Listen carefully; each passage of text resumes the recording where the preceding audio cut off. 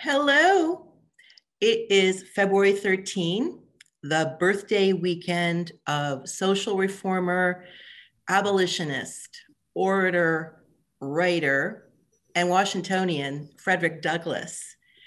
Born into slavery, Douglass celebrated his birthday February 14, but because he has a significant connection to today's subject of the virtual experience, I'm going to say happy birthday, Frederick Douglass, one day early. I'm Carolyn Crouch, the founder of Washington Walks, a DC based walking tour company that's gone virtual during the coronavirus pandemic. Thank you for joining us for the second of three Washington Walks virtual experiences that honor Black History Month. And today we are going to have a symbol of Black achievement, the Recorder of Deeds buildings. I couldn't be happier to be joining today with DC Preservation League colleagues Peter Sefton and Melissa Laureano. DC Preservation League is, as we're talking about Black History Month, an important organization to preserve and celebrate and interpret Washington, D.C.'s Black built environment. And this building, the subject of today's presentation by architectural historian and DC Preservation League trustee Peter Sefton, is a very important symbol, as our title says, of Black achievement. And Melissa is an employee of DC Preservation League, and she's gonna talk at the end of the presentation about how you can be part of this organization, this essential organization to maintaining our historic built environment in the nation's capital, our hometown, how you can support the work of this all important organization. So welcome, Peter, and welcome, Melissa. And let's see, Peter, I'm gonna turn on your video. There you go.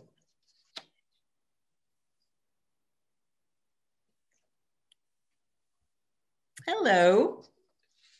Hello. Uh, thank you, Carolyn. Uh, hopefully you can see the first slide there. Well, what I'm going to about to do is I'm going to put the first slide up, make it look perfect. And I'm going to do one more thing.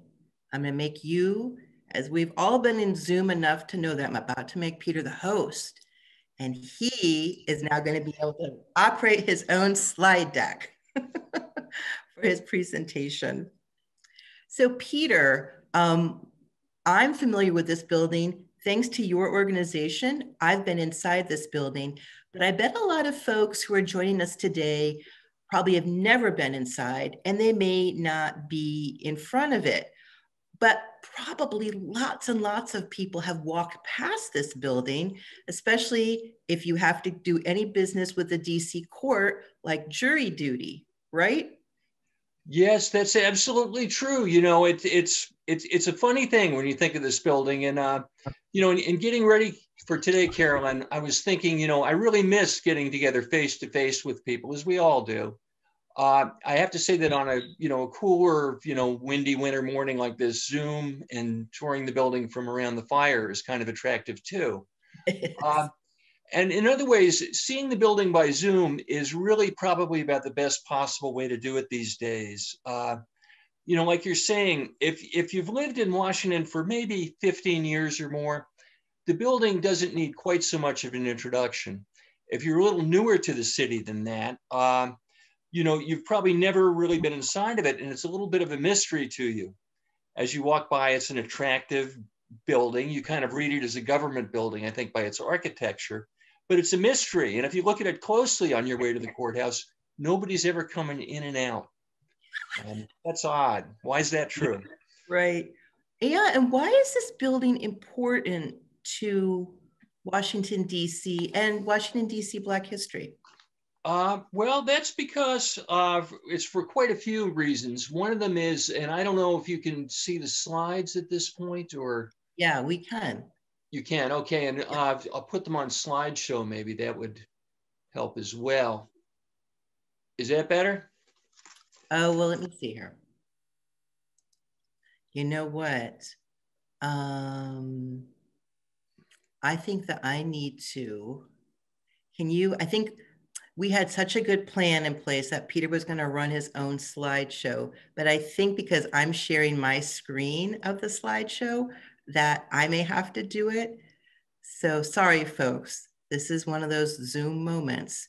Um, but well, Zoom is a voyage of discovery for us all. it is. Hold on one minute. It is a discovery. Okay. Can you, I know people are probably in the chat. Yes, I don't see the slides. We've all had our Zoom moments, people are saying. That's, thank you for being patient and kind. All right, I'm gonna try this. Peter, why don't you now try sharing your screen of your slideshow? Okay. It's gonna look a lot like the one I had because I had Peter's. Right, let's see. Uh,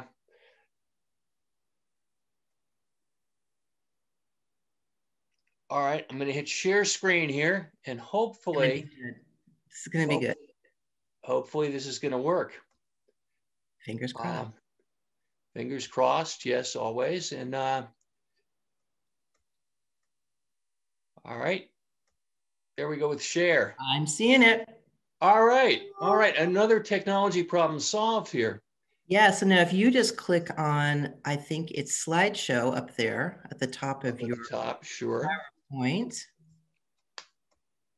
kind of in the middle. Yeah, there we go. And then from the beginning. There we go. Just like in the sound of music. Oh, yes. So everybody hopefully is seeing the recorder building here, yep. seen by the dawn's early light. Uh, and uh, so you know the, the, building we're talking about here. And uh, as we say, you haven't seen anybody go in and out in quite a while, and uh, we're going to talk about why. But to answer Carolyn's question uh, about uh, yeah, why it's important to us. Why it's important to us, and I'm having a little trouble advancing the slide, but uh, let's see. One second here.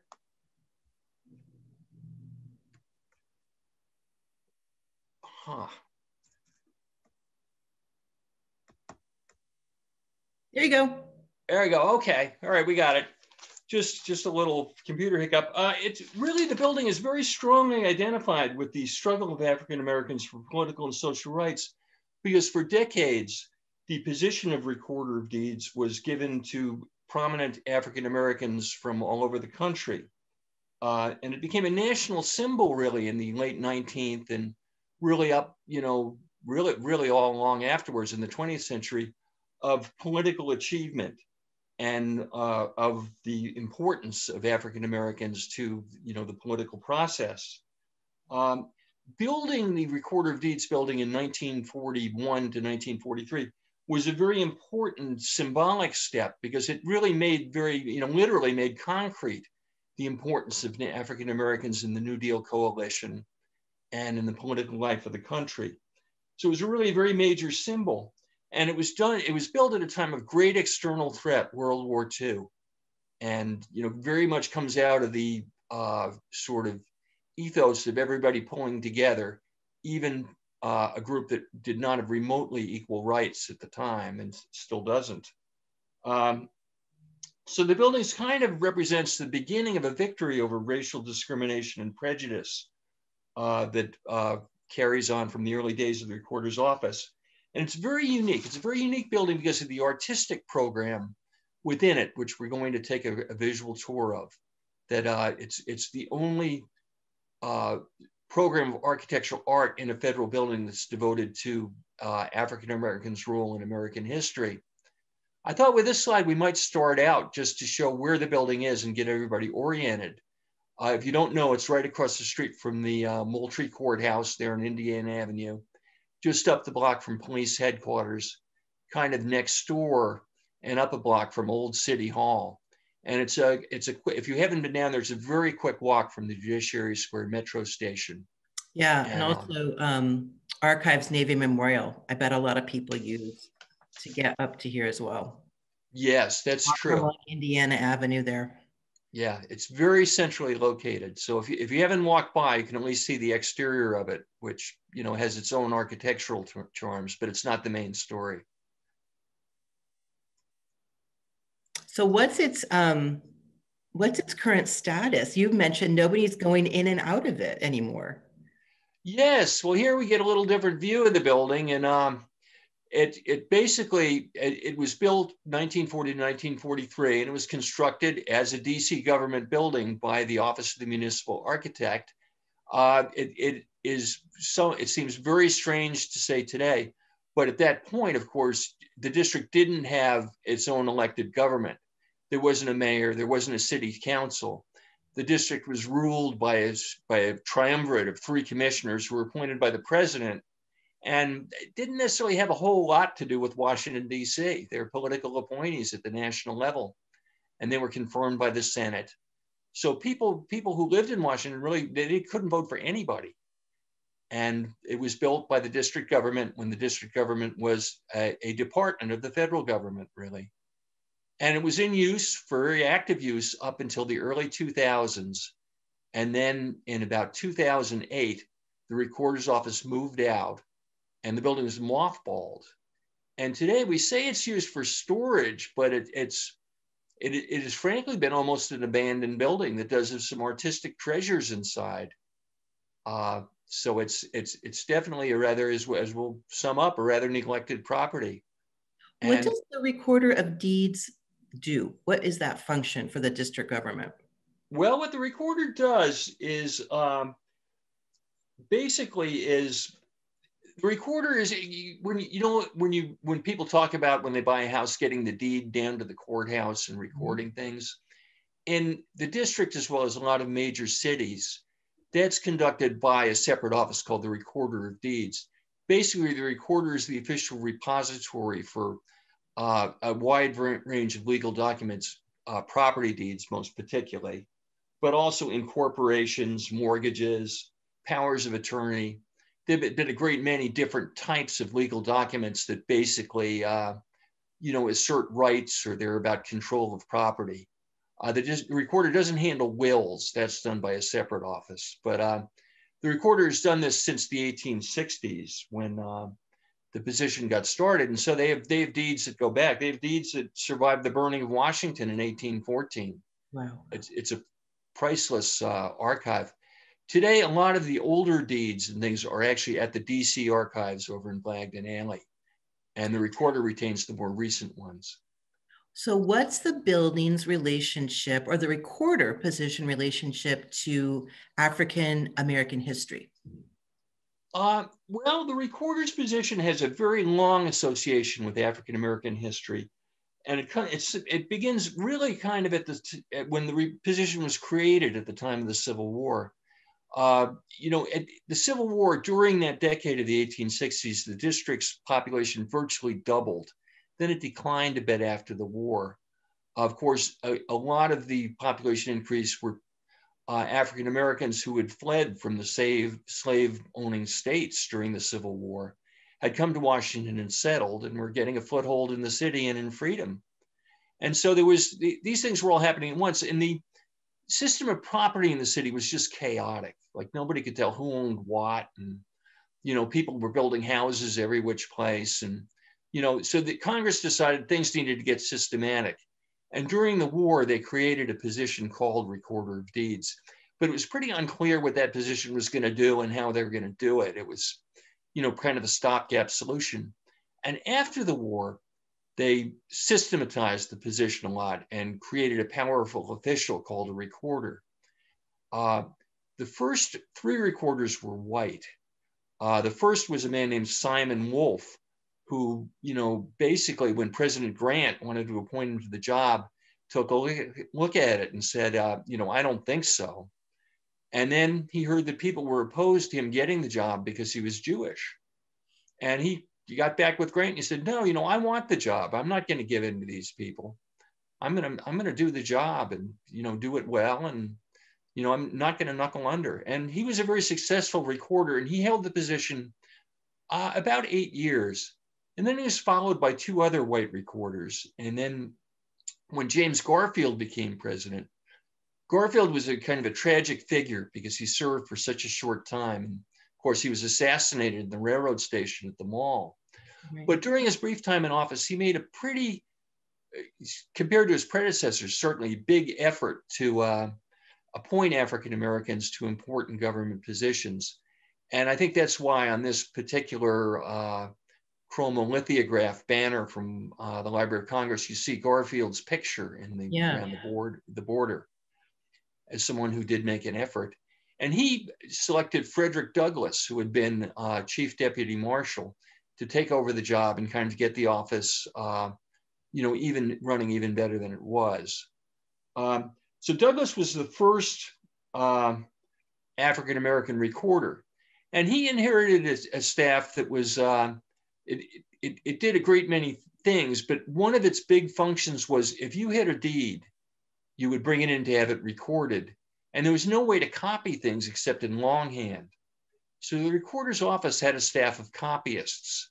And what they would do is they would copy your deed into these big ledger like books called libers, and then it would be stamped and certified and become your official deed. And the, the libers would stay in the possession of the recorder, of course. And the copy is charged by the word and by the page. The recorder got two thirds of the fee, and the copyist kept one third. And then the recorder used that money to run the office and was compensated by the difference between what the office took in and the, uh, you know, the, the, the fees. And so it, it was, it involved managing a staff of about 30 or 40 people. And Douglass. Was it a, uh, was it a multiracial staff? It was. It was. It was stayed even before Douglass became recorder. There were African Americans on the staff, and they included. Uh, they they functioned as copyists, as did many of the white employees, and the staff was about two thirds women, and uh, it was almost equally divided between African Americans and whites. So it was, especially at the times, a very diverse staff. And how did that go? Do we know about um, if there were any?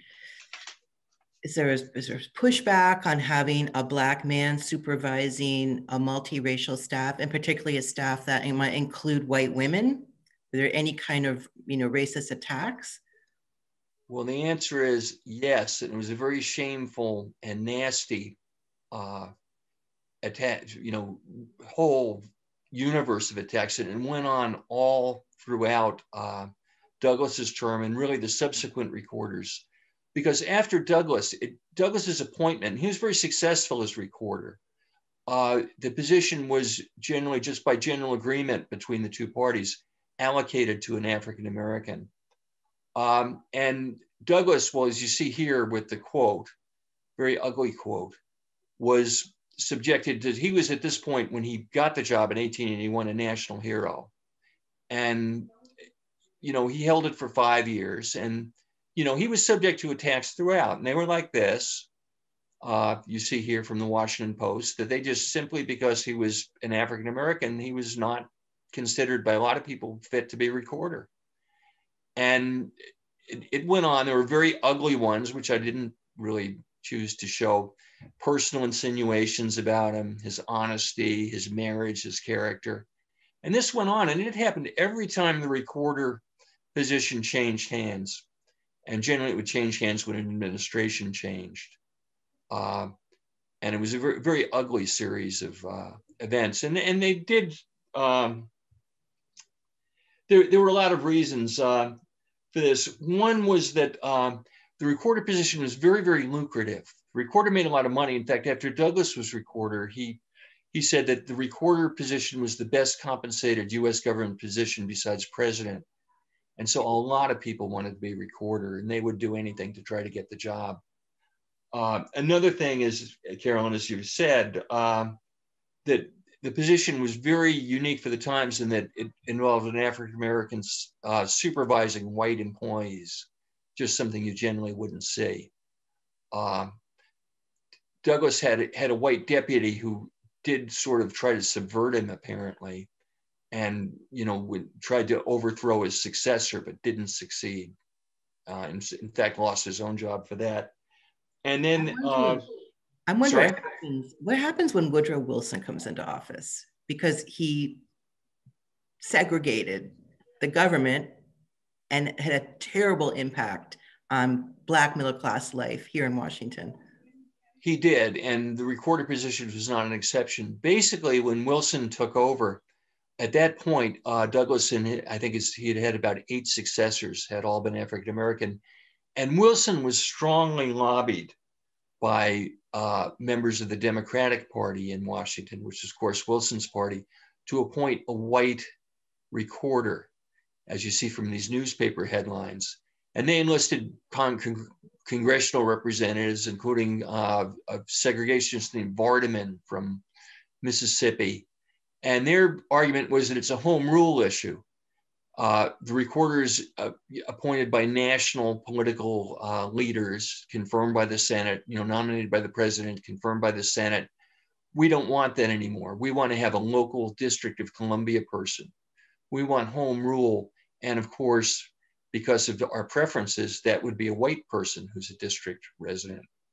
So the home rule thing was kind of, it, it was not exactly quite a front, but it was very tied up with the racist idea that the recorder had to be white.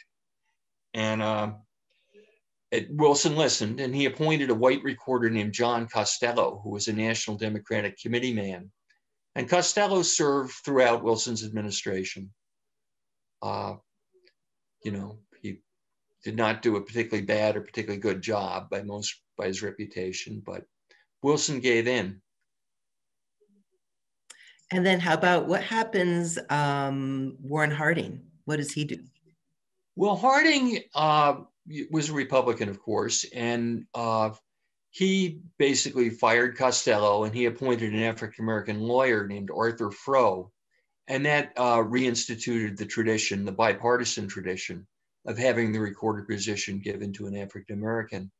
At this point, the recorder of deeds is still it's considered to be there they're considered to be like four major government positions that african americans were appointed to. Uh, two of them were diplomatic positions. They were ambassadors to haiti and the, the island of San, santo domingo. One was register of the treasury which was uh, you know kind of it was an equivalent position to like the comptroller of the currency would be today. And the third was the district of columbia recorder of deeds position which made it really it was it was about the only municipal position in the country that was a federal job. Wow! So it was it was a big and the, whatever the recorder did got national attention in the African American press. Wow! And so, so big job. Um, yeah, the photo that we saw of the current building that's built in 1941. Where did the function occur before 1941? Well, the answer is all over the place. Uh, the recorder was performing an essential function for the district, and you know everybody knew that and accepted it. But he, it, it was a homeless office, really. It bounced around, and it was an awkward situation because it was a pretty big staff of copyists and clerks, and it had these tremendous library of these libers, as they call them, like these ledgers which weighed like they could weigh 20 pounds each if you ever go down there and have to heft one. It's, it takes both hands. And they, they had hundreds of them. And so they, they, the staff and these levers were floating around. They had various offices in Old City Hall. They got bounced out of City Hall occasionally and they got put in leased office space around Judiciary Square. Um, in 1908, when the district government mostly moved out of Old City Hall, which is the current DC courthouse, and went over to the district building, the recorder's office couldn't go because its work was very connected with the courts and it couldn't be that mm. far from the courts. So they were marooned. They uh, were, were in for a long time. A lot of the district government that didn't fit in the district building was in the Walker building, which was kind of, I think, where the police headquarters is today. It's at Fourth in Louisiana. And it was hot. You can see in this, this is a picture taken in the spring and you see all the windows are open. It's not air conditioned. Right. It's like this sweltering building. And the, the deeds were not secure. That was every recorder complained about that, that, you know, it, it, it you know, they were trying to keep track of the of the books, but sometimes the staff was in a different building than a lot of the books. And they had little fires. They had a couple of ones that really could have destroyed the property records of the city. And the recorders would plead with Congress because remember, there's no city council to get money from. Right. Look, we need we need to do something here. We're a disaster waiting to happen. And Congress, you know, said, yes, you're right, you are a disaster, but we're not giving you any money. But that changes, doesn't it? It Because did. we It did. They get It- the purpose built building. It did. The, the Walker building is no longer around, and here's why. Um, under Franklin D. Roosevelt, uh, a remarkable leader became recorder of deeds, Dr. William Thompkins. He was a former hospital superintendent from uh, Kansas City, Missouri, and he was a civil rights uh, activist and civic leader. And Dr. Thompkins was a very, very efficient and savvy person. He had run a major hospital. He, he was used to, he was a businessman in addition to a doctor. And he was a very, very astute handler of Congress and uh, public relations, as we'll see. And Dr. Thompkins is really the force behind the Recorder of Deeds building and its art program. Uh, but what happened really with, with accomplishing this idea was in 1926, Congress under Calvin Coolidge announced they were going to build the uh, Federal Triangle, which would be uh, over here in this, this view. And to build the Federal Triangle, they're going to tear down about 10 square blocks of the city. I mean, this is major. They're going to wreck a whole bunch of district government buildings and office spaces the district government rented. And they were even going to take the district building, which was almost new, it was only about 25 years old, and tear it down because they felt it just wasn't up to snuff to be a federal office building. And so the district commissioners at that point got pretty upset. And they, they were all Republicans, and Congress was run by the Republican Party under Coolidge. And they said, well, we need our own campus. This is ridiculous. You know, we don't, our courthouses are out of date. What are we going to do? So Congress said, yes, what you should have is you should get these squares between Pennsylvania Avenue here on the south and Judiciary Square up here on the north and bounded roughly by uh, 6th Street and uh, 3rd Street, really. And that, that can be the municipal center campus. And you know, you can, you can build a municipal center there and we'll, we'll pay about half of the price. But you have to come up with the other half. And by the way, we're not going to give you our half. At that point, the district committee, which gave out money, was run by conservative Republicans from the Midwest, basically, who they were into cutting government. I mean, they weren't looking to build, you know, a thousand miles from home to build a municipal center. Right.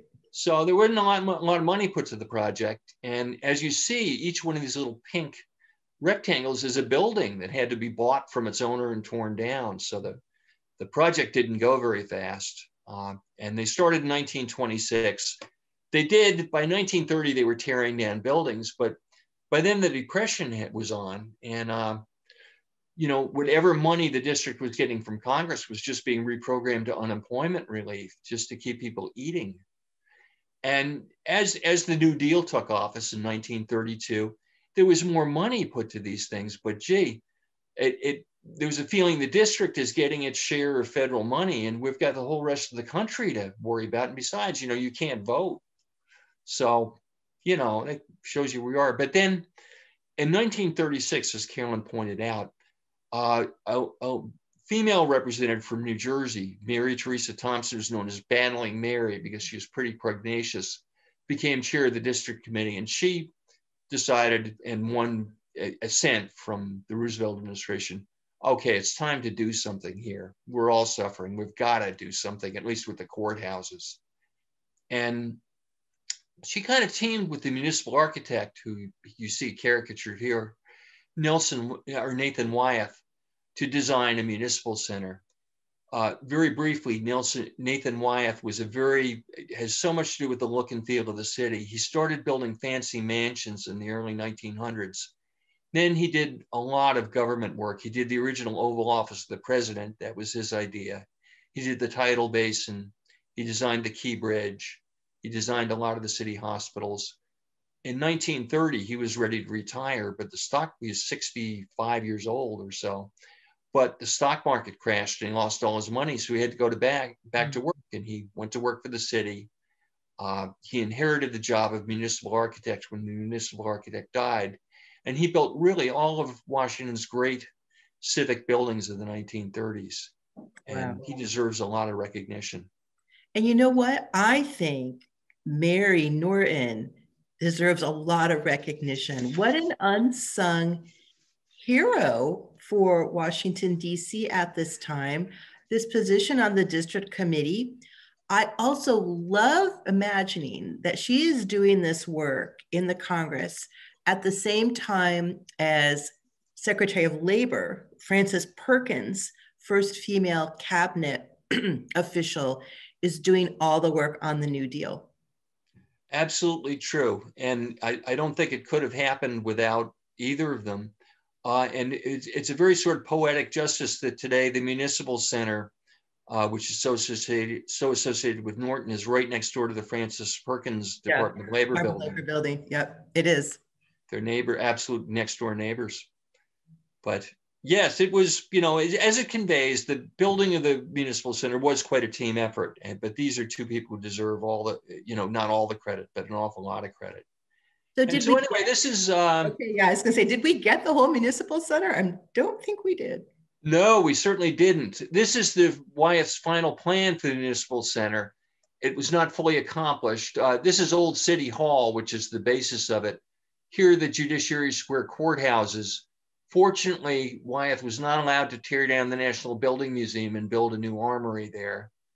And um, he did get to build one of the two municipal center office buildings, which today is the Daly Building, police headquarters, which is number four. He did not get to build the other module of, of the municipal center, which is now the Moultrie Courthouse site. He did get to build what was one half of the new city library, which was a very nice building, but he only got to build half of it and that's torn down. It's now the site of the Canadian Embassy. And he did not get to build the new municipal auditorium, which today is the federal courthouse, the Prettyman Courthouse. He did get to build a building here, which at the time in 1939 was not allocated for the recorder of deeds, but that uh, yellow rectangle is the site that the deeds building is on. What happened was this was the original site of the DC Police Court and when Wyeth built the new police court over here in 1936, the police court got to move out of this building, which was totally obsolete. It didn't have ladies' rooms because it predated when women could be on juries and they had to very clumsily retrofit them. So that was torn down and that opened up a spot for the deeds building. And Dr. Thompkins lobbied. He he went to the public and he said, well, you know, the, the with in its current home, your deeds just aren't safe. And a lot of them are signed by like Daniel Webster and very famous, they're valuable autographs. People are going to start stealing them if we don't have a fire first. Why don't we give all your deeds to you? You can take care of them. You can put them under your mattress. You can put them in your safe deposit box. You can do whatever. They'll be safer than they are with us because we can't, the Congress isn't letting us take care of it. And that made a big civic outcry. And Congress knuckled under and said, okay, we're gonna we're gonna fund a, recorder building. And it got done in that way because of that approach. So they're finally then able to break ground for a purpose-built recorder of deeds building. Indeed, they did. And it was a big ceremony. Franklin Roosevelt came himself, and you see him in this picture here. Dr. Thompkins is to his left, and uh, evangelist Michaux, who was a very major uh, radio evangelist at the time, is giving the invocation. This is in September 1940. So we're about a year and a few months out from the beginning of World War II. And that, that throws a wrench into the process quite a bit. First, there were some strikes. There were some jurisdictional strikes between the AFL and CIO workers on the building site. And in fact, as soon as Roosevelt pushed a button to dig the first, make a steam shovel dig the symbolic first hole, uh, the union shut the job down and they took the steam shovel away. And eventually it came back. But by the time they really got going with the construction, the war was on and materials were in very, very short supply of at all. Like you couldn't get concrete, you couldn't get steel for the windows of the framing of the building. Big struggle to put the building together. But they did. And it took two years. It took about a year longer than anticipated. But in 1943, the building was there and ready. And it, it's a handsome building. even with all the wartime restrictions, uh, it, it's what was called a stripped classical style, uh, in which it, it, seems like it's not very detailed, but um, oh, sorry, it um, window ribbons kind of make these areas in between them seem like columns mm-hmm. uh, would be in a classical building. So it's kind of very stylized columns. It does have ornamental cornices and around the uh, entrance, like you see these, the limestone is carved to represent, to suggest at least pillars. And you have across the top, you have this frieze of wheat leaves or wheat, wheat sprouts, which is also on the, the cornice up here. So it, it, it's sort of becoming almost a modernist building, but it does have ornaments and it's, it's under the constraints the office of the architect is working on. It's a handsome building. And I bet they achieved fireproof building. They did because in the building, as you see here, uh, or you don't actually see here, it is basically it is three above ground and one or four above ground really and one below ground stories.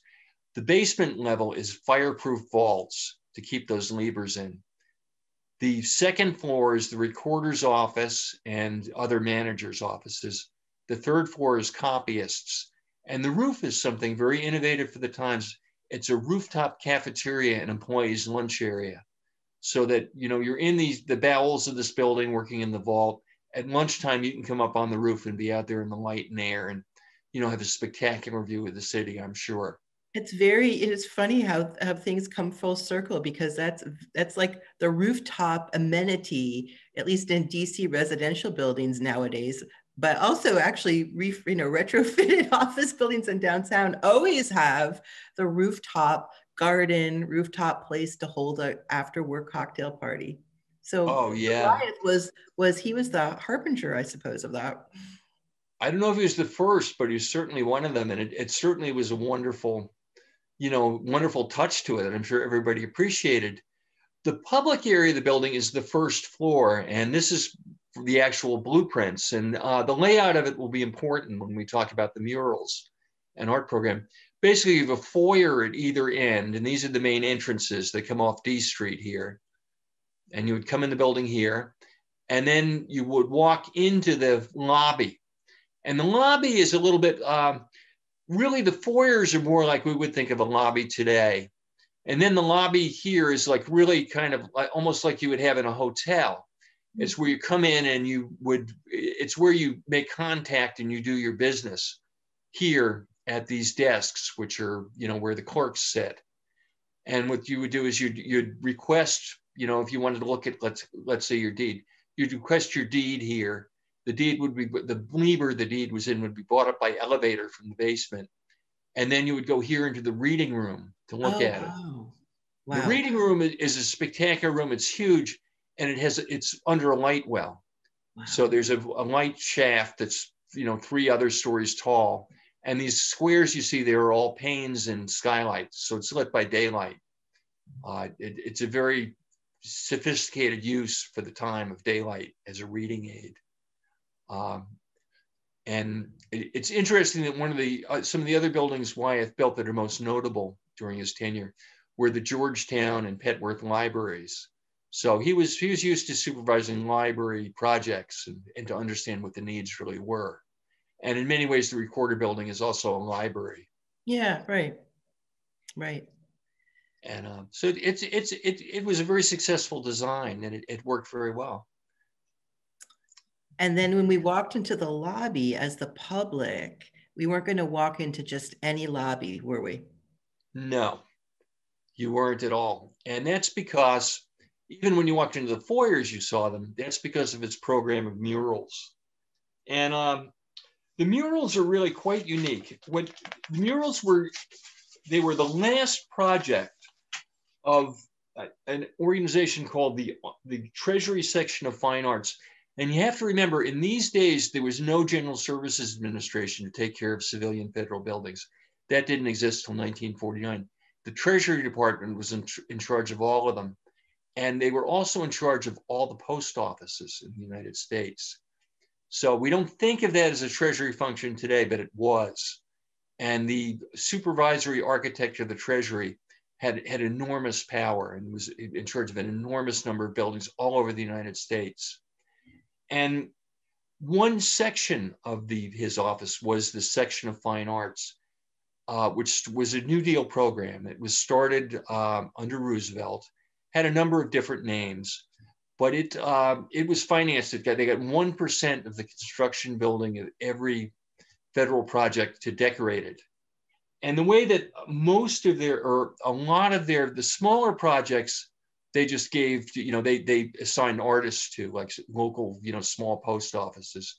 The larger ones were done by competition where there were uh, you know a request was put out for designs and a jury of artists and section employees uh, judged the entries and they selected artists to execute the commissions.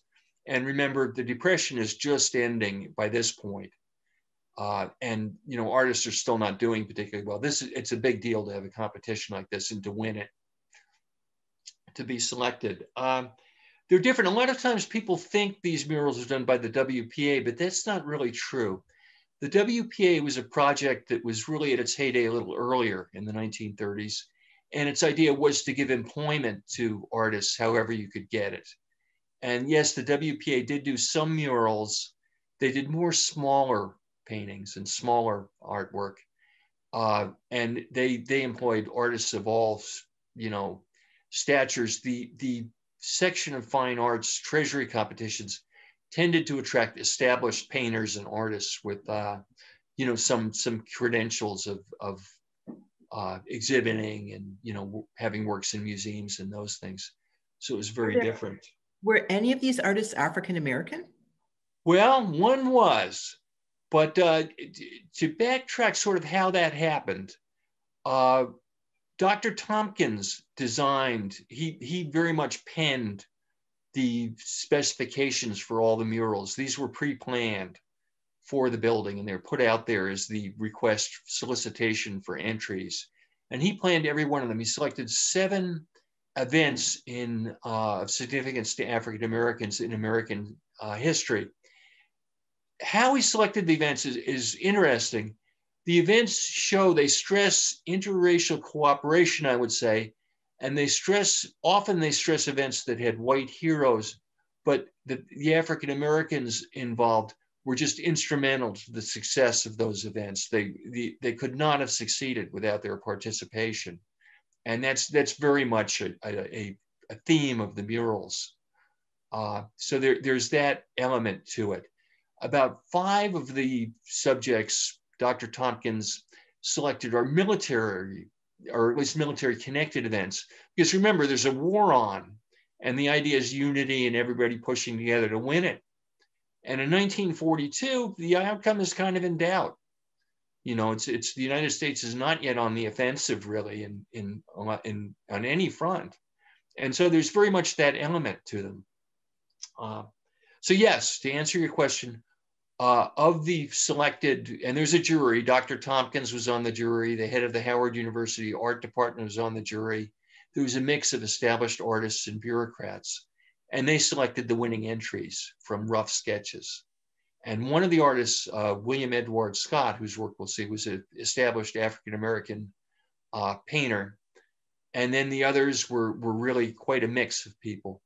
Uh, at the time, it was hailed that uh, half the artists roughly are women, and the geographic distribution from all over the country, uh, artists from every place. And there's quite a variety of styles, as we'll see. Yeah, you can see that from here. From here, okay, this is this is all seven, but uh, we'll look at them in in individual. Yeah, you have some yeah individual shots of them as well, don't you? But uh, they they really do vary. Um, but if, if we're ready, we can take a look at each one in turn very briefly. Yeah, let's and do. I have the locations where they were in the buildings. And the murals serve, they're in the foyers too, as well as the lobby and in some of the other areas in the building. And they set the tone very quickly uh, that, you know, and they, they stress the uh, important role of African Americans that's celebrated by the recorder building and they they try to engage you right when you walk in the door. They're not they're not you know in the library or the reading room. They're right there in the foyer and through in the lobby. So uh, we'll start. This is the Battle of New Orleans by Ethel Magadan, Magafan. she was an interesting artist. She did some very major government bureau, murals at the, the Senate and at the uh, Social Security Administration building, which now is Health and Human Services. There's a very large mural. It's about 14 feet long, and it shows Andrew Jackson at the Battle of New Orleans, and he's being insisted by what are, you know, undoubtedly uh, enslaved persons who are piling cotton bales to shield, you know, the sharpshooters from the British. Um, Ethel Magafan, she was mostly based in Colorado. And she had a very interesting uh, artistic collaboration with her sister where they collaborated on a lot of paintings. And you really couldn't tell where one began and the other left off. Mm-hmm. This one she did do entirely by herself, though. And she is among the more famous architects who have murals in the building. She was a fellow of the National Institute of Design and, you know, had a very accomplished academic career. Uh, this is a, a, more or less traditionally styled mural. It's, uh, you know, it, it, it looks like it, it's in it's in the style of a great many other murals that the Treasury section did. And then there's one we know of someone that Washingtonians will be or should be familiar with, not a military subject, right? There's one of Benjamin Banneker. Absolutely. This is Benjamin Banneker. This is one of the most interesting murals. Uh, Maxine Seelbinder, who did it, this is one of two that really relate to the district as opposed to being national subjects. Benjamin Banneker, of course, uh, was really the, the person who surveyed for Andrew Ellicott when uh, they laid out the city of Washington. Maxine Seelbinder is an interesting artist. She was politically very progressive. She was from New York City and she published a lot of illustrations and uh, publications like New Masses and, uh, you know, others. And uh, she was quite political and had a lot of political associations uh, in New York. Later, she moved out to Hollywood and she designed nightclub sets. Uh, and she became dean of the art department at UC uh, Long Beach. And their gallery is named after her. She had a pretty long life. She died about 10 years ago. She's over 100. But her mural is very much in a mural tradition that was popular, particularly in the 30s. It's kind of a proletarian, kind of a little bit cartoonish style that's designed to be vivid, to be on a wall outside, uh, grab people's attention. Diego Rivera is a real champion mm-hmm. of this. Mm-hmm. His work is maybe a little more complicated than hers, but it, it's definitely of that school that it's it's supposed to be vivid and grab people's attention, and very much you know a few major figures just re- really grab people and uh, kind of energize them. And um, as we're very fortunate, the Smithsonian has a shot of Maxine Seelbinder actually painting wonderful. the mural. Yeah. And you, you can see how they did them, which is they did them at their home studio. She was in California. And they would paint them on, they, they would first go through an iterative process where, you know, they, they won the competition on the basis of a rough sketch and then they would do increasingly into the you know larger and more complex uh, miniatures of the final mural that were called cartoons and they would send each cartoon into washington and the section of fine arts would say you're on the right track go ahead or you need to change this and they would do three maybe three cartoons during the course of the project each one bigger and the last one would be a dress rehearsal and the, the final okay they would paint the final mural on linen, which you see here happening. Wow. And they would send it. It's a lot of work. It's a, it's really a lot of steps in the process. In the section, as we'll see in one of the later examples, very, very hands-on and did not rubber stamp things. Wow. They were into the details. They were artists too, and they they had a lot of comments. But at any rate, the artist would then send the final uh, mural on linen to Washington they were responsible for paying to have it installed in the building under their contracts. And they hired somebody from New York to come and install them all. So the murals are painted on linen, but they're permanently affixed to the walls of the recorder's office. I mean, they're part of the building. They're not paintings that are hung in the building. Right. They're part of it. Right. So at any rate, there was Maxine Seelbinder and Benjamin Banneker. And then there was this. This yeah, is one of the most praised ones. Yeah, I adore this one another non-military subject. Uh, Austin Mecklem was an artist from the Hudson Valley of uh, New York State, and he was a magazine illustrator. Uh, and he did a very notable painting, a famous one that's in the Smithsonian uh, American Art Museum called Engine House and Breakers. He did a lot of industrial subjects, but this one is not. This is, of course, Matthew Henson, uh, who really was, I, th- I, think now today we recognize is really the person who got Robert Peary to the North Pole. It didn't happen without him um, right. helping plant, you know, the flag there. And those of you who are in, who live in DC are familiar with it, you will know that there are a couple buildings along the Anacostia River named in honor of Matthew Henson. Yes. He was, he was from Montgomery County, Maryland, I believe, uh, as, as was Peary, Um, and so he's he's he's he and Benjamin Banneker are two of the local figures who were up there. So then, um, at any rate, uh, this is another mural, uh, Colonel Shaw and his regiment at Fort Wagner, North Carolina, that has generated a lot of interest in the last couple of years. Carlos Lopez was born in Cuba and emigrated to the United States. And today he's recognized as a really pioneering Latino artist. Uh, in, in the United States. He was based in Detroit. He died very young from a stroke, just when he was really starting to catch on and be exhibited in museums. Last year, there was a university exhibit devoted to his work. And his son, John, is a big advocate for trying to preserve the murals in the recorder building, very active, and also is writing a book on his father's work. And this is this is one of the most dynamic and you know, really active uh, subjects in, in, in the recorder building. The charge at Fort Wagner was, was very tragic. Most of Shaw's men were killed, and Shaw himself was fatally wounded. Uh, and this, this commemorates not just Shaw, but really the sacrifice of the whole regiment of African American troops. And then we have another African American who is notable for the Revolutionary War, right? Yes, he is. And um, this is Crispus Attucks, who was uh, killed at the Boston Massacre. Uh, this is an interesting one. Herschel Levit was a, a multi talented artist. He was a painter, he was an illustrator, he was a photographer, he was a historian, he was an author, he was a muralist, and he was a graphics designer. And uh, his work has been exhibited at a lot of major museums, the Metropolitan and the Whitney in Manhattan, Columbia University has paintings in their collection, Chicago Institute of Fine Art, Boston Institute of Fine Art. One place, though, that perhaps people most experience Levit's work is he did a lot of covers for jazz albums in the 50s, a lot of those really adventurous, abstract ones like the Pacific Jazz series that, uh, you know, Miles, he did a Miles Davis cover. He, um, he's a very talented graphics artist. Uh, you will see from a lot of these, a lot of them are like Crispus Attucks. They're very vibrant paintings, but the section of fine arts of the Treasury Department was very conservative. You don't see any abstract paintings mm-hmm. really at all. And there's no, you know, there, there are no cubists represented in any of the work the Treasury commissioned anywhere. Abstract art was a big no-no, um, even though Herschel Levit did quite a bit of it. And Frederick Douglass is going to get his moment in a mural, isn't he?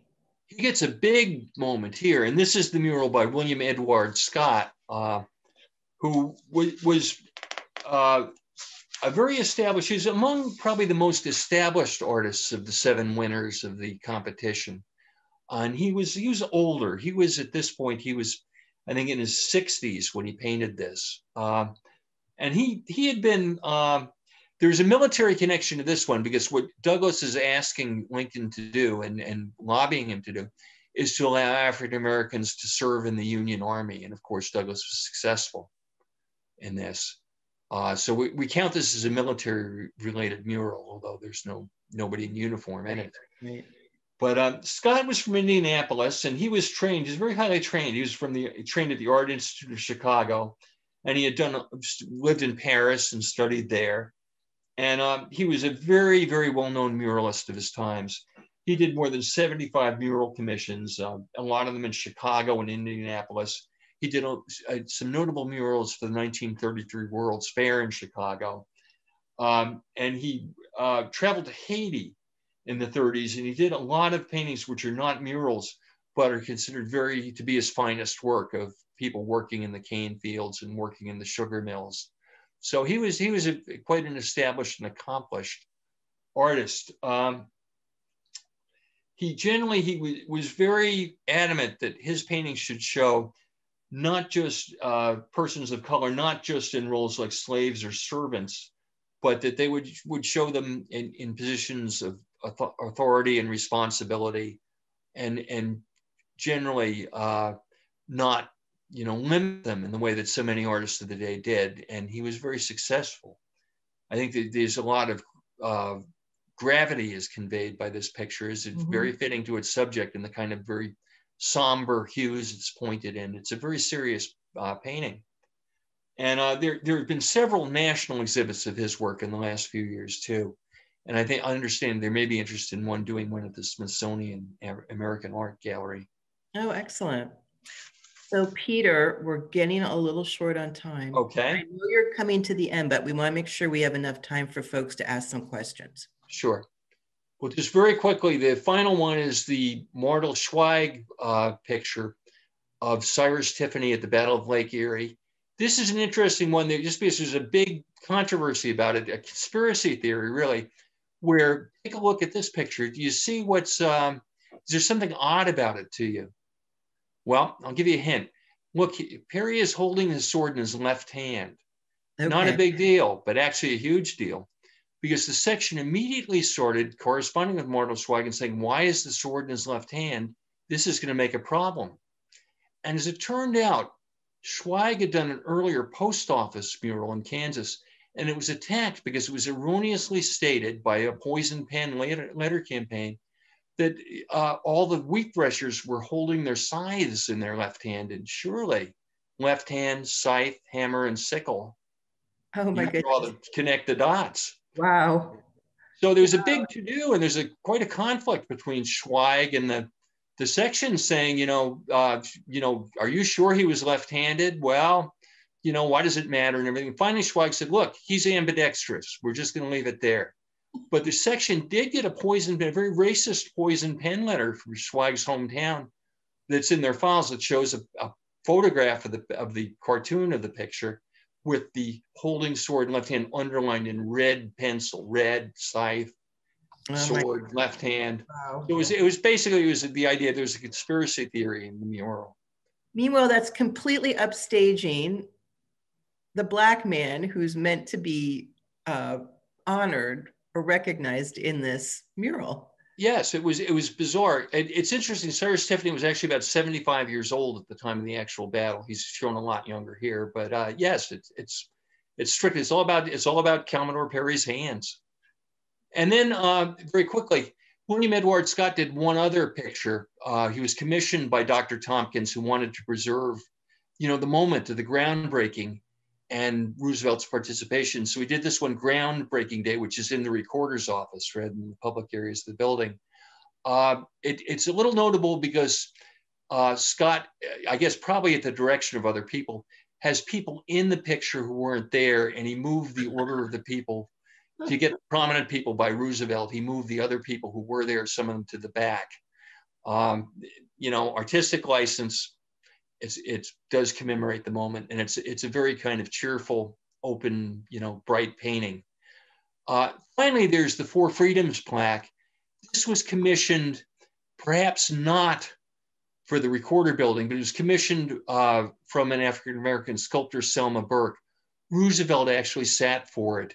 Uh, it, it was kind of up in the air. Uh, Eleanor Roosevelt didn't like the finished version of it and wanted to set up his third sitting for Burke with Roosevelt, but then he died. So they had to go with what she had, and it was dedicated in 1945. The recorder building, because of the war, was never formally dedicated. The plaque was just right after the war. Harry Truman came and he made a speech. It was two weeks after Hiroshima, and he made a speech about nuclear annihilation, uh, which was very much in everybody's mind. But this was dedicated this also has had a controversy because Burke believed that the Roosevelt dime, which was issued in 1946, was plagiarized from her design. Oh, There's wow. been a, a, lot published about that. You can see it online. It's, it's never really been exactly resolved. There's a lot of argument pro and con. You can maybe be the judge yourself here. Um, but anyway, uh, that is kind of our whirlwind tour of the building.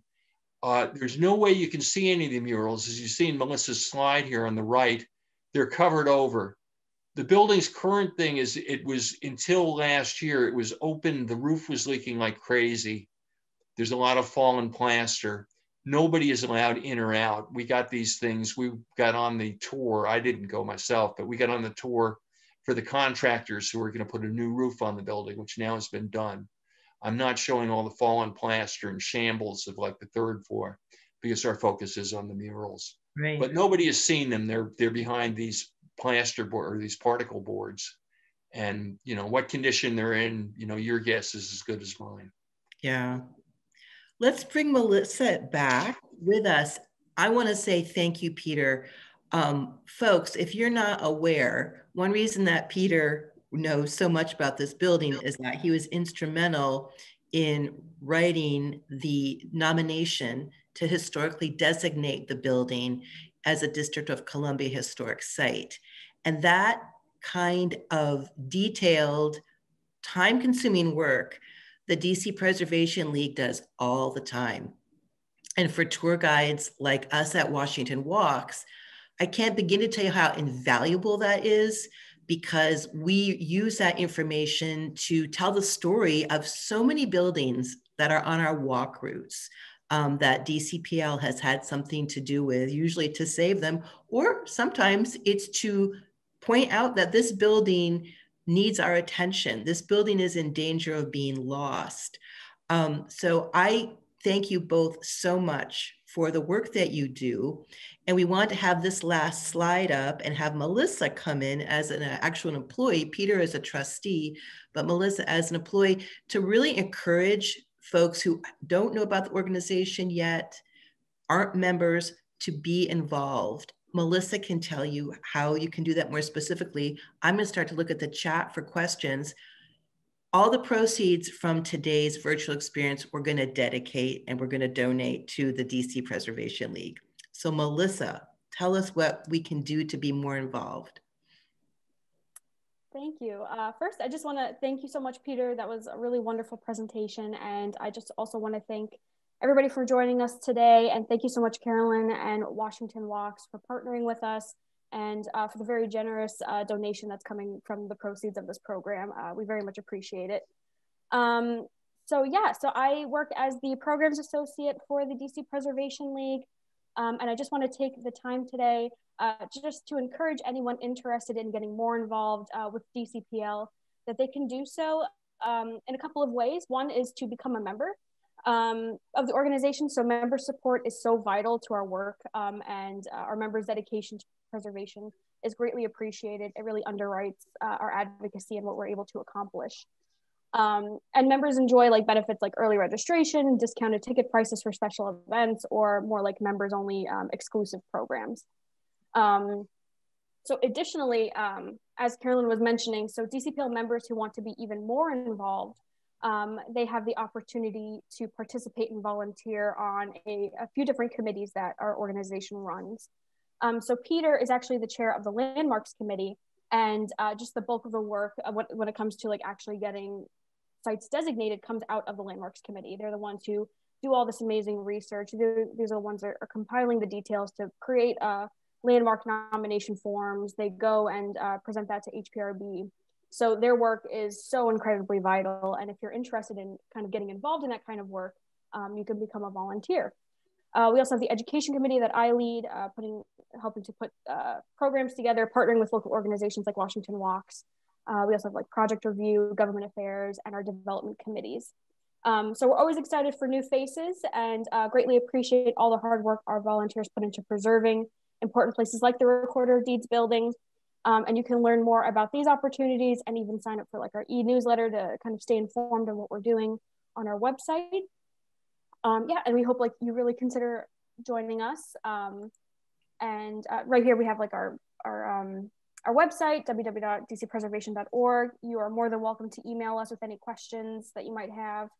Um, we also have an app, DC Historic Sites, so it's geolocated. So if you're on a, a, a safe, socially distanced walk in the city and you want to see what's around you, uh, it's geolocated, so you can kind of look at your phone and you can see what's around you and learn more. There's also like curated tours that we have on there And there's also associated website, and uh, the URL is there. And we're also on social media at DC Pres League, so you can kind of stay uh, informed there as well and, and follow us. So I just want to thank uh, Washington Walks again for this opportunity and all the wonderful work that you all are doing, um, partnering with us and also just sharing these wonderful stories about DC uh, with the community. So thank you guys again.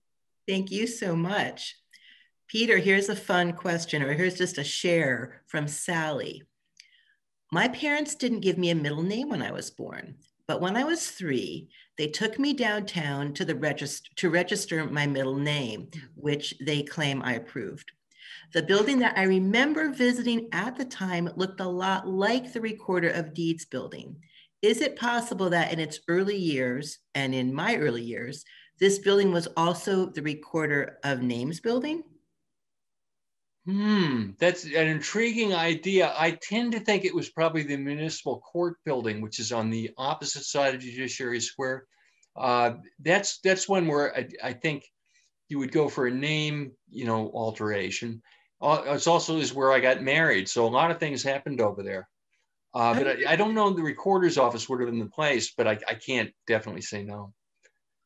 So Sarah has a couple um, things to share or ask. Interesting to learn that the fees that the Recorder of Deeds collected supported its work. That's the way it still works. Hence, land records get digitized only as enough money is collected to pay for these. As of yet, no deeds before 1921 have been digitized. Correct. Which is sort it's of very frustrating. Yeah. They're, they're, they're over DC archives, which of course been closed since the pandemic started, really uh, in the big libers there, the older ones. Sarah also wonders what was the function of the DC police court? That was basically that dealt with like misdemeanors, and there were a ton of them in the 1920s. If you think about it, that's when automobile ownership exploded. So, you know, everything from drunk driving to parking tickets. And then it was prohibition too. So, like, you know, just simple possession of alcohol, you know, being scraped up drunk out of the street and getting mm-hmm. a ticket for it. You had to go down there and answer the tickets. So it was, they actually, in the 20s, they had so many people in a typical day in the old police court building, they couldn't sit down. Wow. So people had to stand like 8, 10, 12 hours. Sometimes they collapsed. It, it was anarchy. I mean, it was like really terrible. Oh my gosh. So Sarah's also sharing, this is, I love this. This is kind of double meaning for maybe sites along the Anacostia River. The Henson sites east of the Anacostia may be named for Tobias Henson, an early Black landowner whose many descendants still lived there in the early 1940s and I was thinking of the Matthew Henson um, in like environmental education or Earth Earth Conservation Corps buildings. Yes. One that's near Nats Park, and that one now is in Southwest or still in Southwest, um, tucked in there now, hanging in there with Audi Field and all that other mixed use development looming around it. But so glad to know about Tobias and his legacy as well. Well, interesting that we actually have a landmarks nomination going for that. Uh, center there by Nats Park out there in the river. Uh, I don't know, the pumping station for Capitol Hill. Yeah. But yeah, you know, I've always assumed that that, you know, that it was Matthew Henson that was named for, for his role in exploration. Yeah, yeah, those buildings are, are for him with Earth, Earth Conservation yeah. Corps. But I love this connection to Tobias Henson, who I'm not familiar with. Me neither. That's that's you learn something new. Thank you, Sarah. Marianne says, I was in the building before it closed and asked about a statue in the lobby of a young man clothed in only jeans pants and told that it was Abraham Lincoln and had originally been at Old City Hall. Uh, I don't think it actually was at Old City Hall, but yes, that's correct. There's a very stylized Art Deco kind of statue of it's a plaster cast actually of an original that was done for the 1939 World's Fair in San Francisco. Um, not the New York one, the West Coast one, by an artist named Hanson. And it's, it's a very, it's an, um, it's, it's an incredibly buff statue of Lincoln. I mean, yeah, it's amazing. I think that might be at the DC archives now. Okay. Um, that, to have been moved over there. I'm not positive of that, but they have one that's either its twin or that statue. And you know, this might be a good opportunity to say that right now in 2021, the building that's sort of in, or the function that's a bit in danger and fragile and vulnerable, like the recorder was before it got its building in 1941, mm. is definitely the DC Archives building. Tell folks a little bit about that building and that function who may not be familiar with it. Oh, yes. The, well, the, the DC Archives is in a, a converted livery stable in Blagden Alley uh, you know, which is like over, you know, roughly, you know, off of M and N streets. Um, and it, it, it's a very big building. And it was a good idea, but it's not a climate controlled building. And it, you know, obviously wasn't built as a, uh, a repository. So it, it, suffers quite a bit. And there's been a, for years, there's been a rumor or, you know, an effort really to build a, a more proper archives building, even to the purpose of point of wanting to repurpose the recorder building for that function. Yeah for a variety of reasons that the you know the recorder building is kind of it, it's right by the courthouse. There, there's a little pushback from that that ultimately somebody might want to use it as offices for the court system instead. So it, it's like people won't let go of it but they also won't fix it. But yeah. the dc archives definitely is in need of some help there. For sure for sure. Peter thank you again for spending this time with us and thank you for the work, the volunteer work that you do for this organization that is so integral to our city's built environment being preserved, interpreted, and celebrated. Thank all of you for joining us today. We have one virtual experience left for um, this year's Black History Month. Next Saturday, we're going to do something completely different. It won't be about a building, but it's going to be about people. It's going to be about Dolley Madison and the Madison enslaved, with particular focus on a female enslaved called Sukey, who was Mrs. Madison's sort of lady's maid. And we're going to take a unique approach because we're going to be talking with two living history uh, performers or interpreters, one who has does Dolley Madison and one who does Sukey. And they're going to talk with us about what they learned about the Madisons and the enslaved doing research and how they present these figures to a 21st century audience. So join us. We'll send an email out about that program um, on Monday or Tuesday. In the meantime, happy birthday, Frederick Douglass. Happy birthday, Abraham Lincoln, yesterday. Peter, thank you again. And thank you thank all you. for joining us. See you next time. Bye-bye. Bye.